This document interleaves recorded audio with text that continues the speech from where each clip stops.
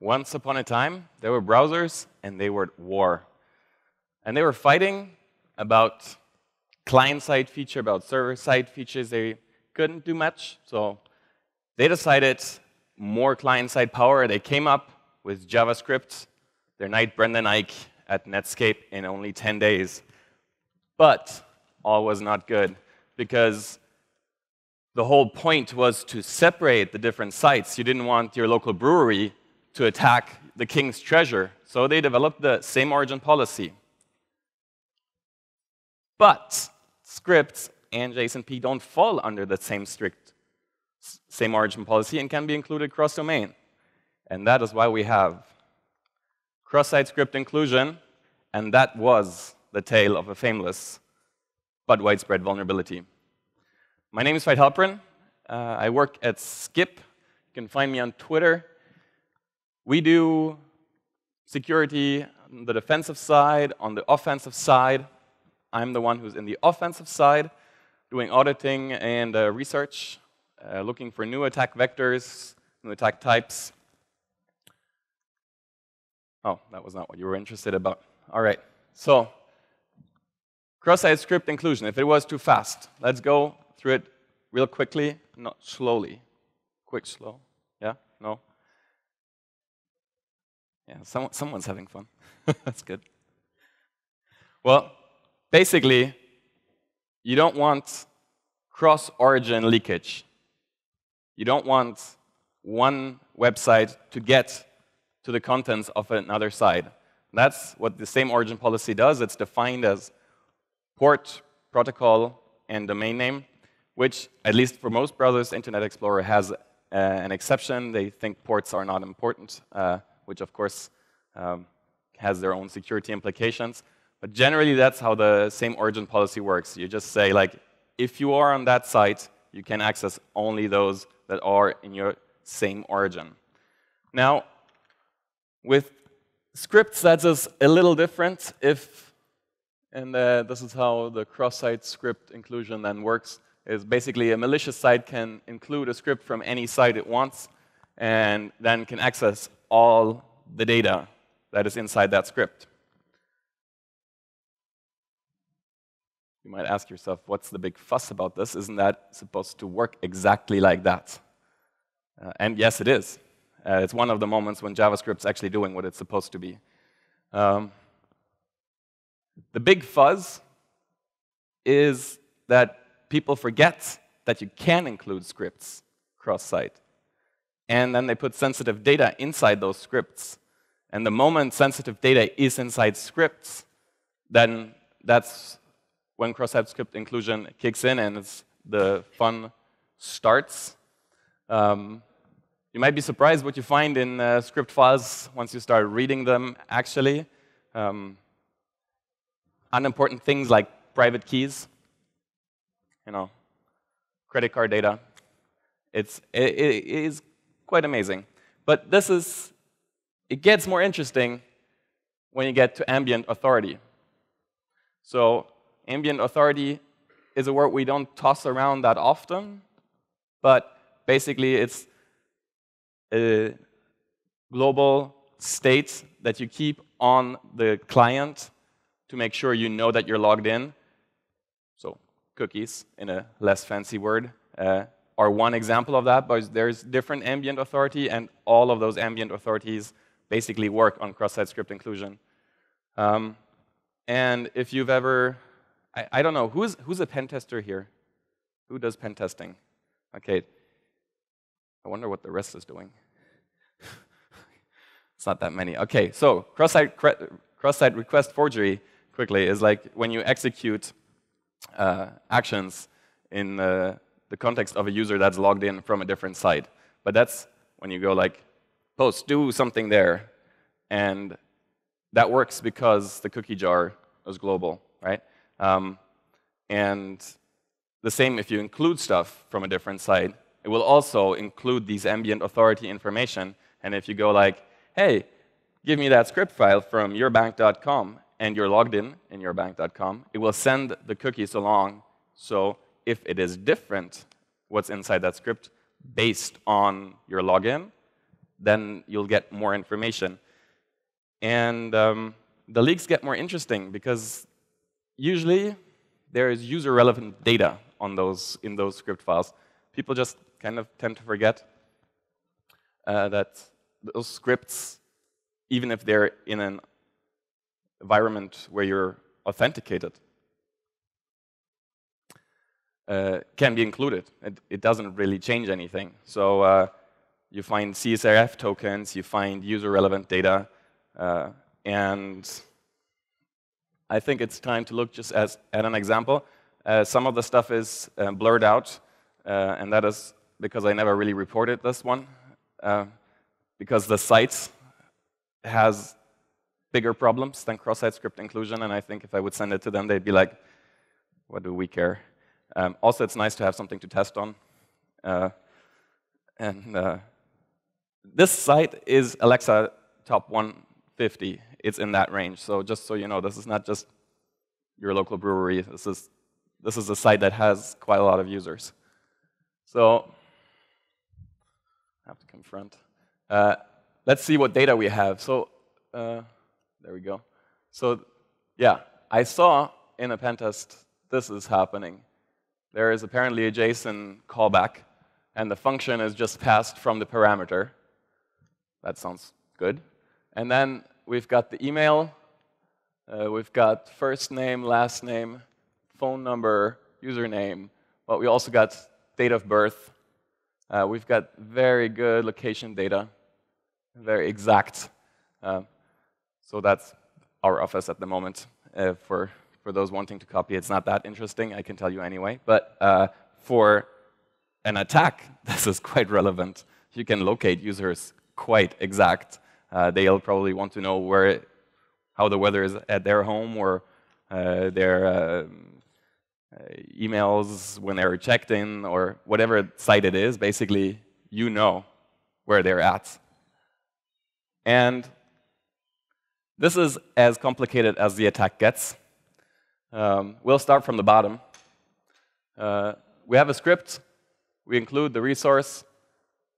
We give it our own JSONP callback, the function we define ourselves. It's just a JavaScript. And the function do we define, the data it gets, it's just basically an alert on the stringified version of the data. The data was JSON, so this is, e this is how easy it is.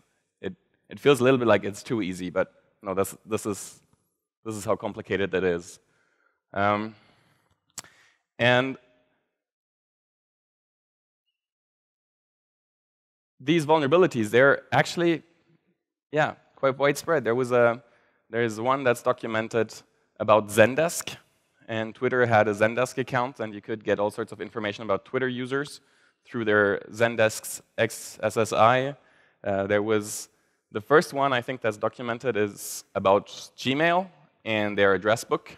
Jeremiah Grossman, for those that uh, maybe that rings a bell for some of the pen testers, uh, he, he found cross-site script inclusion where they, he could basically read the whole address book the same way, as simple as that. And um, yeah, yay for leakages. Yeah, I did say Fameless. Thanks for asking. Uh, the cross-site script inclusion, basically, it's been around for a while, um, basically since JavaScript and same origin policy were born. Um, but I think Jeremiah Grossman's attack was in 2006, so it has its 10-year anniversary this year. Um, if you look in the de facto standard of web security, the OWASP, um, it's not in the top 10. Uh, it's apparently not widespread enough. But actually, if you look and search on the OWASP site, uh, you won't find cross-site script inclusion at all. If you use Google to search on OWASP, you'll find two papers. Um, but basically, if we want to eradicate a vulnerability or if we want to find a vulnerability and want to reduce the impact of it, people need to know about this. And right now, it's, it's, it's not known. It really isn't. And it lacks a few other features. One of them is there is no categorization. It's just like, oh, yeah, yeah, there's XSSI. And then, like, whoever uses it in that context just like adapts it the way he needs it. Um, and so, yeah, it's missing like a structure like XSS, where you have reflected, stored, universal, mutation-based, all that fun stuff. Yeah, that's kind of still missing. And talking about the widespread part, to quote Sebastian Lekies from his paper, The Unexpected Dangers of Dynamic JavaScript, we observed that a third of the surveyed sites utilize dynamic JavaScript. More than 80% of the sites are susceptible, susceptible to attacks via remote script inclusion. And he is talking only about dynamic JavaScript. And we'll see in a second that that is only one of the categories there is. So let's start by categorizing the cross-site script inclusions. Um, I've come up with four categories uh, that I think are kind of handy to deal with. First, we've got static script and JSONP. Of course, if you have JSONP, you have to know all the parameters. Uh, if there's in the request stuff you don't know, it, it won't work. Um, but basically, static JavaScript, you have a file somewhere lying around, publicly accessible, and it has a private key for whatever reason. But it does happen, apparently. I've seen it. Then category number two, static JavaScript requiring authentication. So basically, that's a file that's only accessible once you're logged in, and it throws you an error or something else when you're logged out. And from that one, if there's no sensitive data in this file, there's one information you can always gather from it, and that's a login oracle. You will always know if a user is logged in with authentication-based JavaScript cross-site script inclusion. Then category number three, dynamic JavaScript. Dynamic JavaScript, um, as with the others, doesn't have to be bad. I mean, there's, a, there's plenty of dynamic JavaScript around. One is uh, for just keeping time. Um, there's timestamps that I've seen, just like regularly updated in JavaScript files. Uh, of course, advertisement is one of those big things that keeps changing the JavaScript files. Um, but sometimes it also has user data, and uh, like the, the one we saw before. And yeah, so CSRF tokens. And then the fourth one is non-script. Non-script uh, cross-site script inclusions is kind of like a contradiction because it's cross-site script inclusion. Um, but it's basically, it, it, works the same way. You include something, um, and the browser thinks it is a script. And the moment it handles it that way, you can leak uh, data like comma-separated values, or and then it thinks, oh, I think those are identifiers. The JavaScript code doesn't work, but I think those are identifiers. We should try, well, I'll give an error handler out, and once there's an error handler, I can read the data. So we can leak actual data through uh, the script inclusion, despite it not being script at all. But those attacks, they're all browser problems, and they are not generic, and they're usually being fixed, usually. Let's talk about finding cross-site script inclusion vulnerabilities. If you want to find the category number one, there's really no way around it. You will have to read the code. Um, as, as much as that is annoying, it is also quite a good learning experience. Um, sometimes it's, it's surprising what you will find. Uh, I can only recommend it. Uh, for certain things, you can, of course, grep. Uh, you can grep for private keys. You can grep for social security numbers. You can grep for credit card numbers. And if you're using Burp Suite while you're testing, it will actually help you on those ones as well already. If it thinks there's sensitive data inside a script file, it will be like, I, I think there's something. So now that you know that there's cross-site script inclusion, you can just take that data from all the users. Finding cross-site script inclusion number two and three is a little bit more tricky, but not that much. I mean, the diagram fits on one page. So basically, we're assuming the following situation. We're assuming that you are browsing the app as authenticated user, and you found that there are JavaScript files or callbacks, and um, then you re-request the JavaScript file without authentication and check if the response is a script. And it, if it is no script, what you found is a script that works with authentication. So, goal.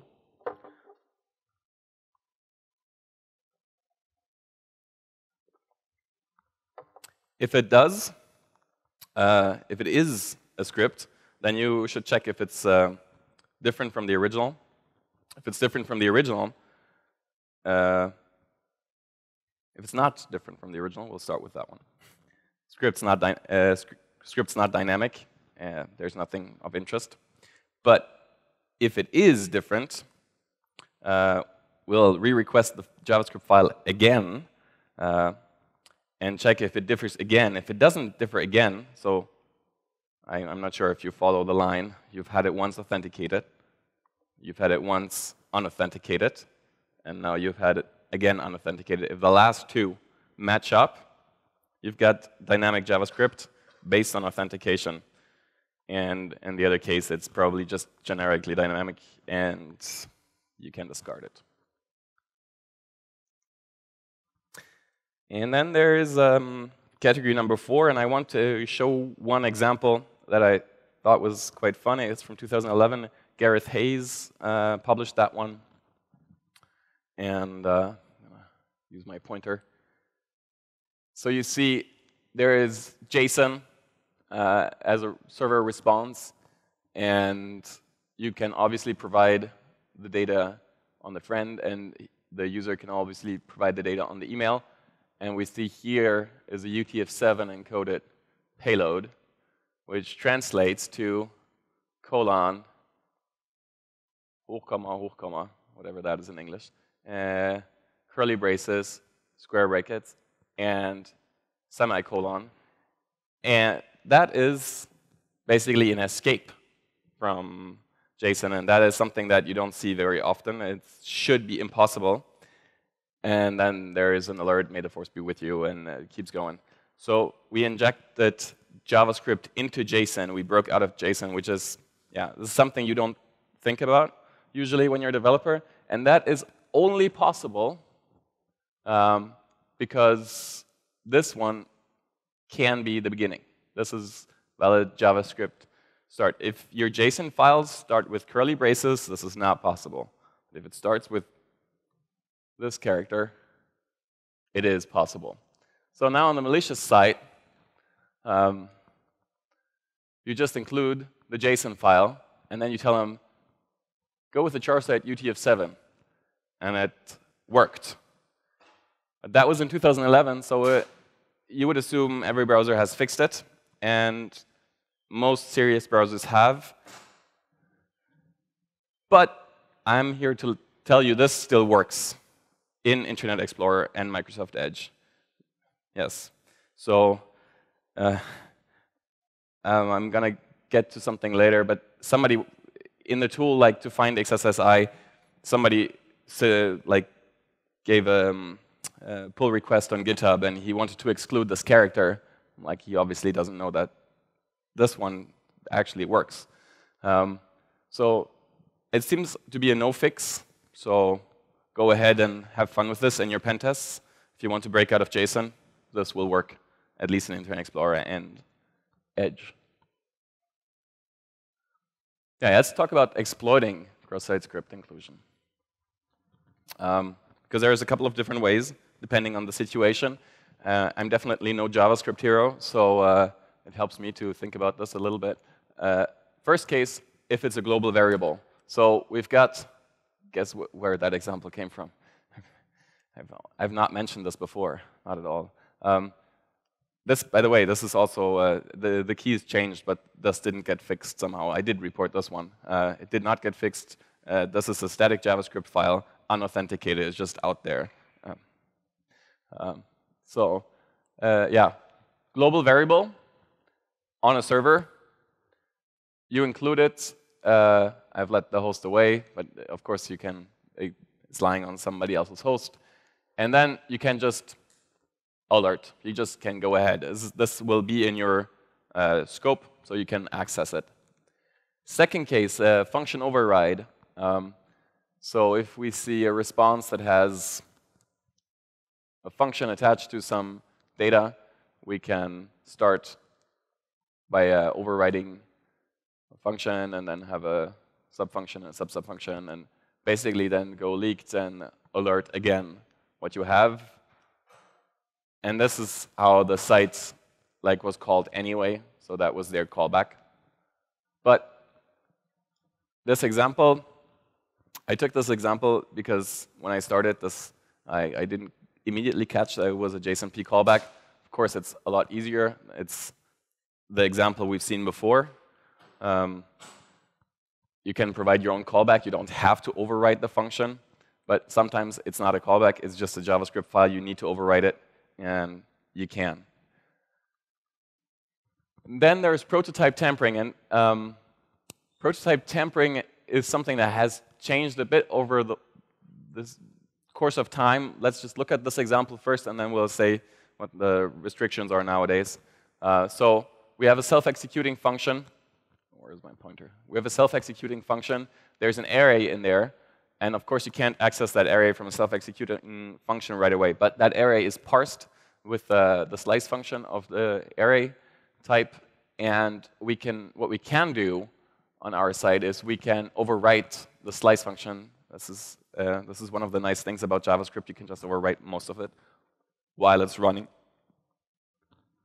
And uh, we'll just say, all right, we'll have a new function, and we'll create a function that will send the data back to the attacker. Back a few years, it was still possible to override the array constructor. So the example we saw before, uh, it's only a matter of time. Yeah, exactly. So uh, this one was this here. It's it's basically if you have it in uh, in square brackets, you could just say the array is not an array, and then you could just leak all the data inside. That was, uh, that was quite fun, but they fixed that one. Fortunately for security, unfortunately for pen testers. Um, and the restrictions are being imposed more and more, but it's, it's always worth trying to override constructors. It's always worth uh, getting a, a, direct access. Um, this is basically how you work at it. And then we already get to uh, we already get to preventing cross-site script inclusion. The easiest way is for developers is just to never put sensitive data into JavaScript files. Just keep them out there. They, they don't belong into JavaScript files. JavaScript files, by design, are made to be accessible cross-site, and if there's sensitive data, it's going to be leaked. It's as easy as that.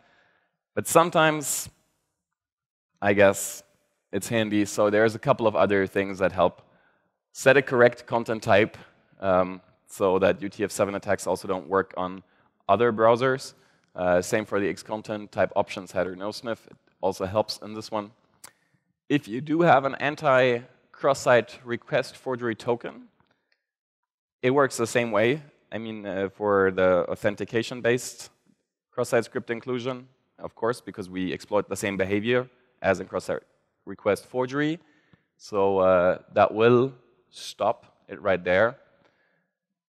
Then the same site cookie attribute um, just popped into uh, Google Chrome's version 51 last week. Um, it's a new flag. It's a new uh, cookie attribute uh, that uh, you can set. Basically, the only only way it makes sense in this context for cross-site script inclusion. If you set it to strict, there is an option to set it to lax.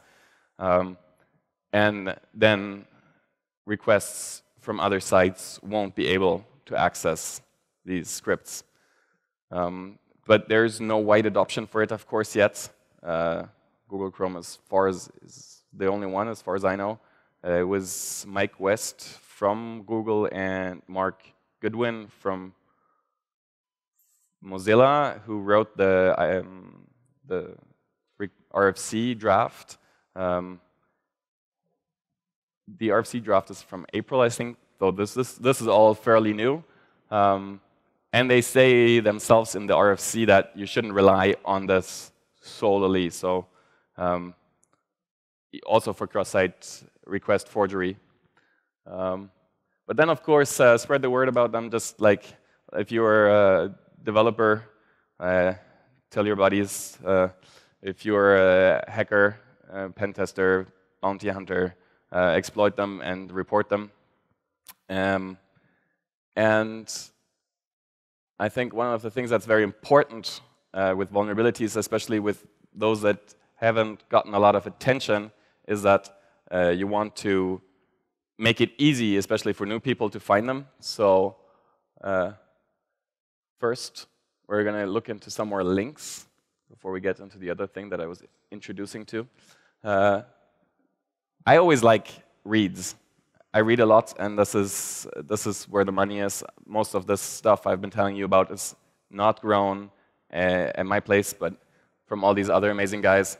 So the first one is Jeremiah Grossman's article when he uh, stole the uh, address book from Google. Then JSON is not as safe as people think. It's a very interesting uh, post by Joe Walker, who was also involved in the same site cookie development, even though he's not an author on the RFC. Uh, then the spanner, that's the JSON hijacking. That's the one that still works on Internet Explorer and Edge. Then the next one, Phrack, this is the latest issue. Uh, Jörnchen has written that uh, post. Uh, it's on Ruby, and uh, only one like tiny phrase relates to cross-site script inclusion. But basically, Ruby, uh, and uh, he writes about Ruby version 3, sometimes has the option that you can tell it by parameter what format you want back. So you can say format equals XML or format equals JSON, but you can also sometimes say format equals JavaScript. And, and usually it wasn't like taken away by default, so you could get access to the data without uh, basically doing anything. And maybe the application wasn't even using it, but it was just there. Then the next paper is a paper by Takeshi Terada, uh, and it's on identifier-based cross-site script inclusion. Yeah, it's cooling down a little bit with the rain. It's nice. Um, the identifier-based cross-site script inclusions are those that, uh, that we were talking about with, the, for example, the comma-separated values. He has some other really nice attacks in there. Most of them, uh, I think, have been fixed by now. But it's an interesting read. Then the next link goes to uh, Sebastian Lekies' paper, uh, the one we've quoted on from at least the widespread part. And um, this, is, this is the paper that prompted uh, me looking into it. It's, it's a good read. Uh, unfortunately, they never published their code. Um, uh, that happened, I guess, partially because they weren't too fond of it. I'm not sure if there's also some usage rights in there because SAP was involved somewhere in that research. Then the next one is uh, the personal side of Sebastian, and it has some more uh, examples for leakages. Then the next one is the link, the, we're talking about this one now. This is the link that uh, went to uh, the Twitter Zendesk vulnerability that I've been talking about. That's uh, the write-up of that. And then basically the last one is on our blog. I see that the link is wrong. so it's not the year 20,116. Uh, it's the year 2016. There's one, one too many in there. Uh, it's good to fuck up your own links. Uh, yeah, that's basically the write-up of this talk. So if you're like trying to get the information again or you want to read it in a slower version, you'll find it all there. And to spread the love, uh, I wrote the, an extension for Burp that's supposed to make your life easier, finding this, those cross-site script inclusions. It implemented that little diagram that we've talked about. Uh, it's a passive scanner module, so if you've used Burp, just to let you know, it's a passive scanner module. If your passive scanner runs on everything, it will fire requests. Um, and that is because the active scanner module API of Burp is not designed for what we're doing um, with this uh, with this extension, and uh, I've talked to them, and they were like, "Yeah, it's you just have to go that way." So just if you use it, know about it. It's not a big deal. It just fires the request unauthenticated. But if you're testing anything on Google, it will log you out, and that's quite annoying. So then it does filter for JSONP and scripts at the moment, and if you look at the code about that, it's not only ugly because I can't program properly, but it's also ugly just because developers uh, use the wrong content types all the time and uh, deliver scripts back as application JSON um, and, and all sorts of stuff. That was before Burp improved their detection mechanism for uh, the content type. For right now, it's, it's still a bit messy, but maybe I'll take it out. Every time I've tried to like make it more lean, all of a sudden I've had findings missing. So, uh, yeah. It's already in your Burp store. Uh, later on, I'll commit a new version uh, to GitHub, which uh, the current version only checks generally uh, if there is dynamic JavaScript, and the new version that I'll push later on uh, will distinguish and have medium findings and low findings, and the low findings are those that are generically dynamic, so it filters out a little bit more for you, and you'll have less uh, false positives, I hope. When it comes to ambient authority, it's only currently implemented for cookies, but it's work in progress, so I'll will uh, implement further ones as time comes along. And if you want to, you can, of course, always contribute by sending pull requests. And if you send pull requests, I kindly ask you to make them small. Uh, I got one that was huge and changed all sorts of things, and uh, it was impossible to accept, unfortunately, even though the work was well intended. Um, but yeah, this is, I hope it's going to help you in the pen testing uh, for those that are developing and using Burp. I hope this is going to help too. And with that, I'd like to thank you for listening. And uh, if you have any questions, shoot. All right, so we're going to have Jesper running around with the mic again. If you have any questions, just raise your hands, just like before. He's coming.